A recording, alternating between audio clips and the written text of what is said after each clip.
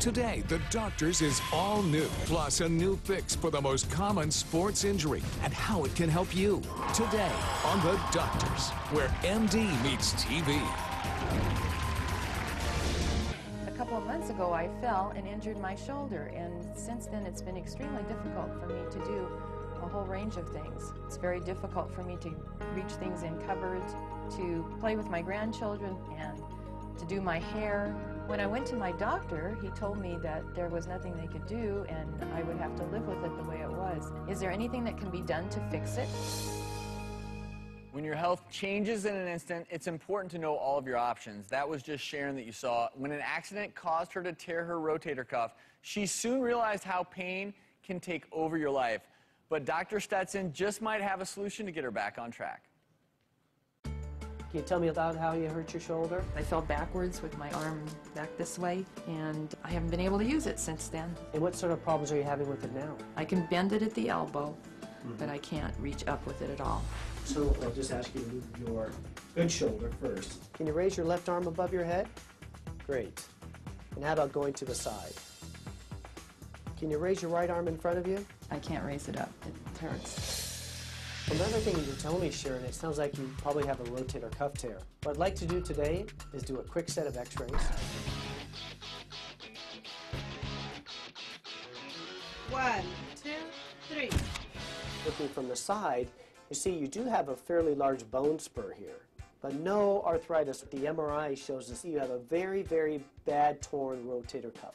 The rotator cuff used to be attached way over there where my cross is. Oh my goodness. So it's torn from here all the way over to the edge. The good news is the muscle is still very healthy. Your injury was only a few months ago, so there's a very good chance that we can reattach it back to the bone and give you some function back in your shoulder and help relieve your pain. Great. Thank you, Dr. Stetson. We have Dr. Stetson with us today. Welcome back, sir. Thank you, Travis. So, Bill, I have to tell you, first things first, clap in the audience if you knew what the rotator cuff meant. Okay. Very common injury. I see people coming to the ER a lot after an injury to rotator cuff. So let's talk a little bit about the rotator cuff and what it is. It is a really common injury, Travis. There's actually four rotator cuff muscles, but the one that's most commonly injured is called the, the supraspinatus, which is the one on the top. It actually is a mechanical problem. It just ruptures away from the bone. If it doesn't, isn't reattached, then people lose function and have chronic pain. And that's why in that video there, you, you see Sharon walking around, and, and, she really can't get her arm up at all. She's reaching up, and, and, and the other arm essentially becomes somewhat useless. It really does. People can't do their activities of daily living. They can't take things off the shelf, can't comb their hair. And if it's not repaired, they end up getting a chronic pain and basically having to have a shoulder replacement. We have a cool animation. Walk us through what we're seeing here. Be happy to.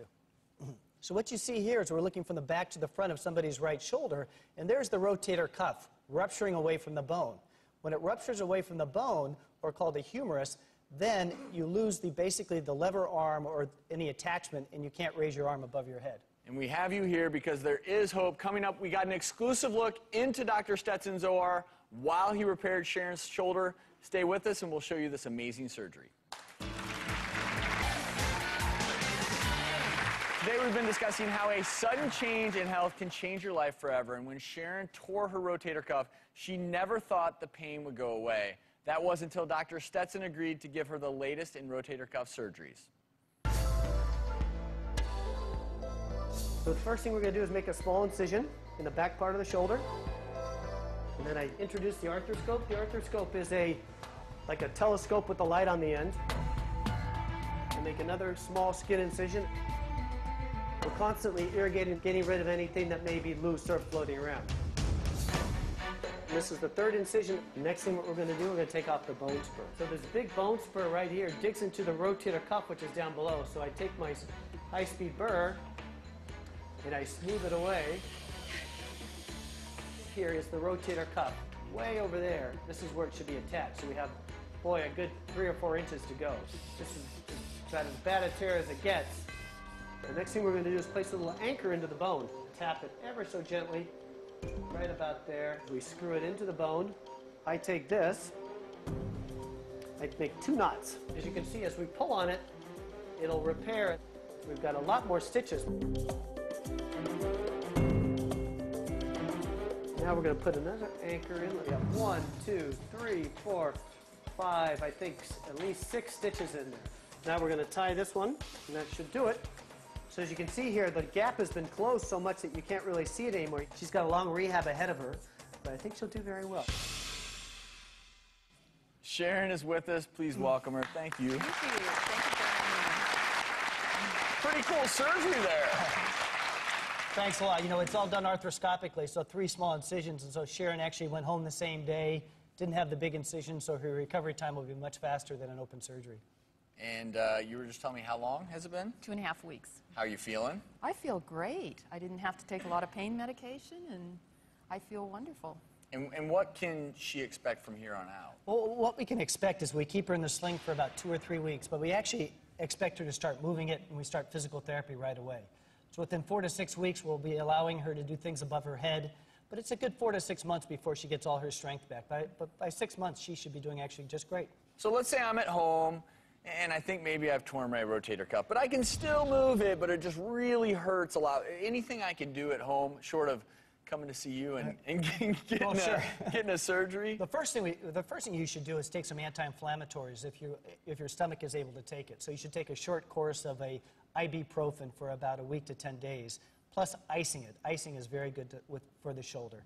If that doesn't improve your symptoms and your range of motion becomes less or restricted, can't do things above your head, and the pain persists, then you need to be evaluated either by your primary care physician or by an orthopedic surgeon who specializes in shoulder surgery. But most importantly, there is hope for someone just like you, Sharon. Thank you for being on the Thank show and sharing your story. Thank you. Dr. Stetson, thank you.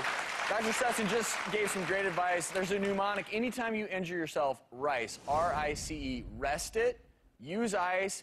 You can actually apply some, for other injuries, compression.